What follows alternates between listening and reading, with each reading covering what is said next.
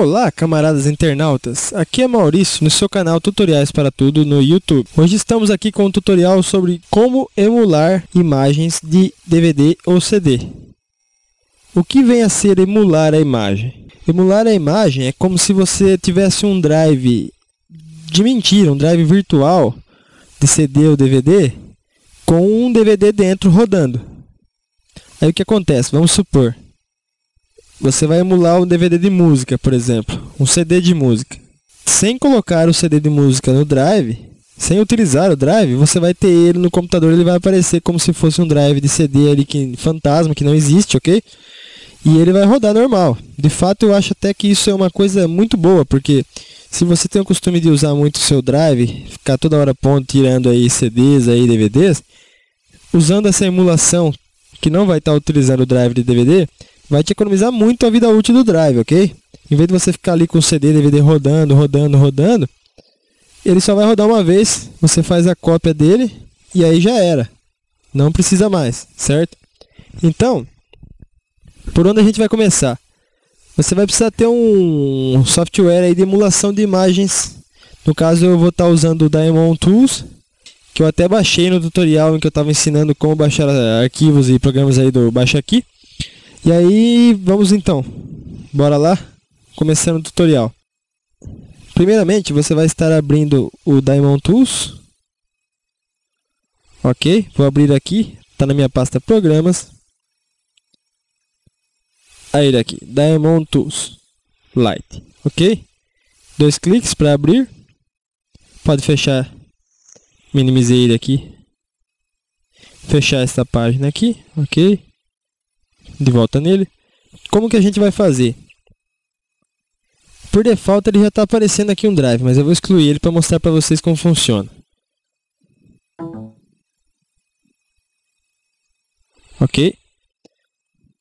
Vindo aqui nesse botão, tem outras formas, mas aqui é o mais fácil, ok?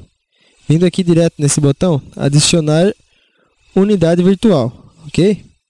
Você dá um clique aqui, ouviram o som? Como se estivesse plugando um hardware externo?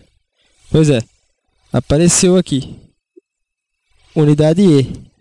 Estão vendo? Sem mídia. Pode até dar uma conferida aqui no meu computador,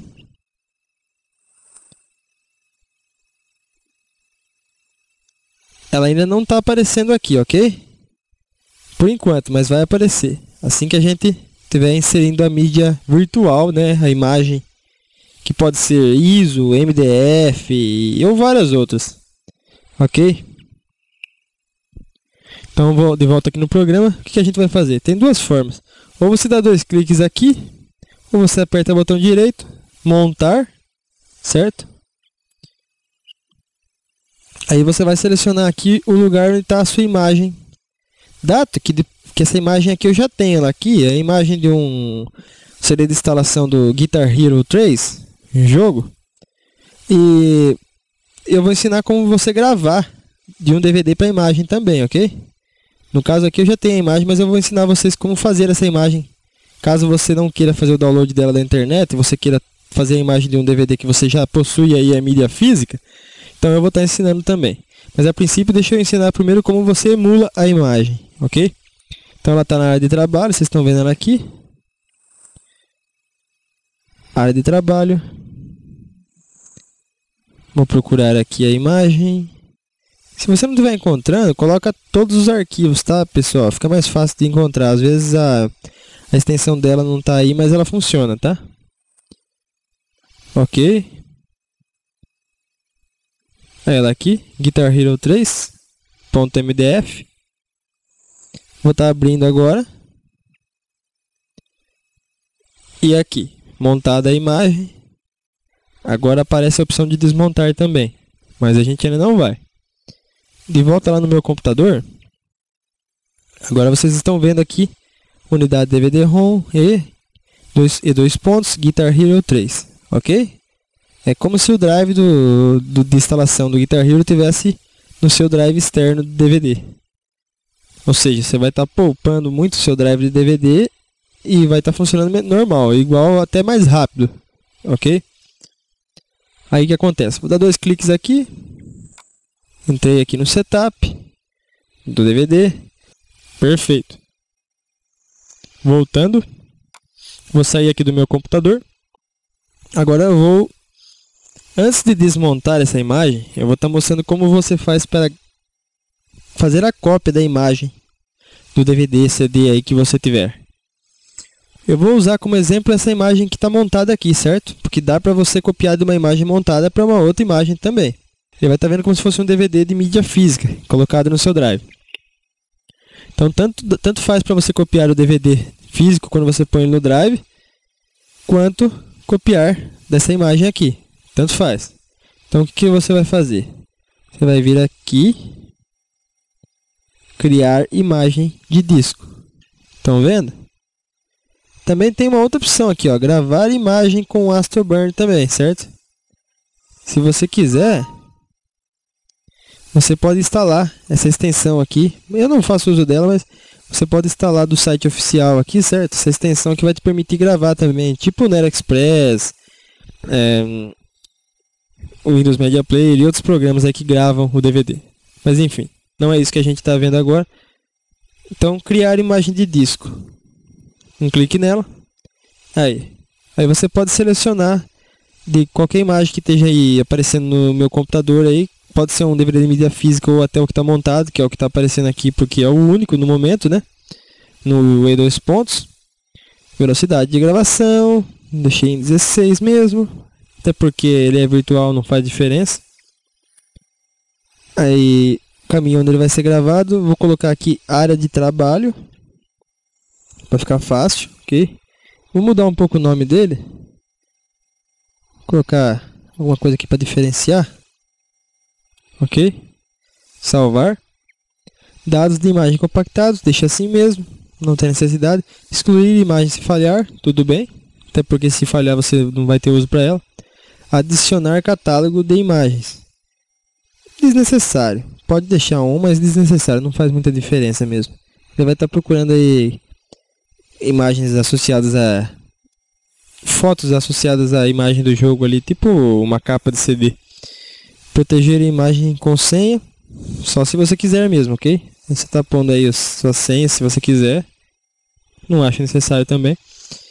Iniciar podem acompanhar aí a gravação da imagem.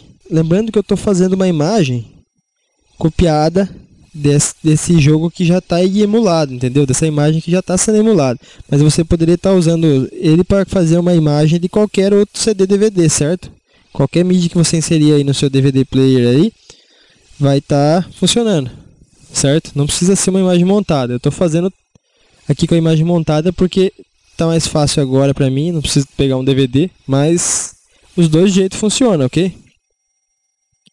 Aí você, por exemplo, quando você for ouvir aí suas músicas, as suas músicas aí, se você não quiser ripar elas, tirar elas do CD, também o seu DVD, se você não quiser transformar ele em arquivo de vídeo, se quiser assistir direto do DVD, ou mesmo o seu jogo aí, às vezes precisa que o seu DVD esteja aí rodando no drive para ele funcionar. Dentre muitas outras situações aí, em vez de você estar tá usando o seu drive todo, todo o tempo aí, gastando ele, acabando com a vida útil dele, você vai estar tá deixando o seu drive descansando aí, você só vai usar ele quando você for fazer aqui a cópia da imagem, certo? Aí você deixa ela guardada numa pasta. Aí toda vez que você for precisar, você só vai emular ela aqui, como eu fiz aqui com o Guitar Hero, ok? Você não vai precisar toda hora ficar colocando seu CD no drive aí, que vai acabar com a vida útil ligeiro, entendeu? Por isso que eu acho que esse tutorial é de extrema importância. Principalmente para galera aí que é gamer tal, que curte jogos do computador. Faz muito uso disso. E muito jogo também aí que você baixa aí também, e não só jogo, mas outros DVD, CD aí também muitas vezes vem em formato ISO, é, MDX, como esse aí que vocês viram aí que o Daemon criou, ou MDF, todos eles são imagens ISO, tá? Só muda a extensão ali, às vezes, do formato, mas todos são imagens.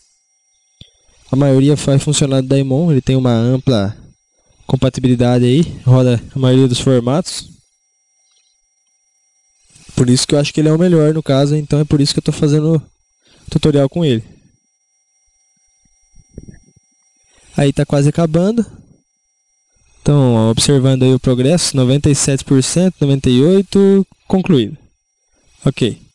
Vou fechar aqui essa janela agora. Fechando. Ok. Minimizando aqui a janela do Daemon. Vocês podem observar que apareceu aqui a imagem feita pelo Daemon. Agora não tem mais só uma, mas duas. Essa aqui que foi copiada desta. Certo? Agora para vocês verem que está funcionando normal, eu vou desmontar aquela imagem que eu tinha antes. Botão direito, desmontar. Ok? Desmontei. Vou vir aqui, vou dar dois cliques. E vou escolher a nova imagem, certo? Podem ver ela aqui. Guitar Hero MDX. Estão vendo que é essa aqui, né? Extensão MDX.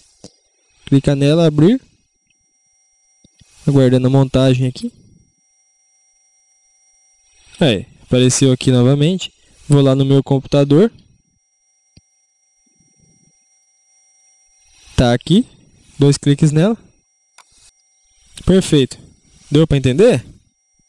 Por último, vamos desmontar aqui a imagem. Ok?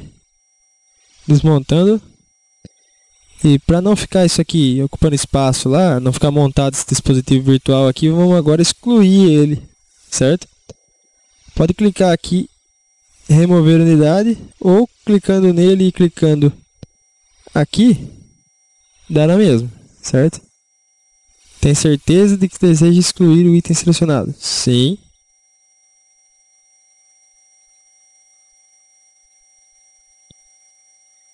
E daí, tanto faz. Botão direito aqui, remover unidade. Ou então você clica nele aqui com o botão esquerdo ou direito, tanto faz.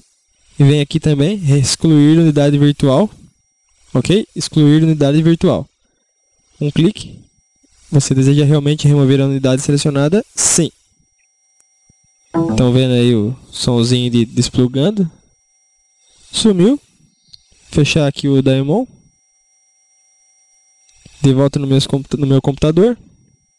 Aqui no meu computador vocês veem que não tem mais também. Pronto. É isso aí. Então, de agora pra frente, chega de gastar o seu drive de DVD aí e bora fazer cópia dos seus DVDs aí como imagens aí para você tá usando, tá emulando eles quando você precisar. Ok? Espero que vocês tenham entendido bem aí, que o tutorial tenha ajudado para quem não sabia. Para quem sabia, respeita, porque nem todo mundo é gênio de computador, nem todo mundo sabe de tudo, ok? E isso é uma coisa muito importante aí. Então, estamos terminando por aqui esse tutorial. Espero que tenha ajudado. Se você gostou do tutorial, Deixe o seu like aí, se inscreva, favorite. Comente aí se você estiver precisando de alguma coisa também. Na medida do possível a gente vai estar tá fazendo tutoriais aí por pedido. Ok? Até a próxima. Fiquem com Deus. Tchau.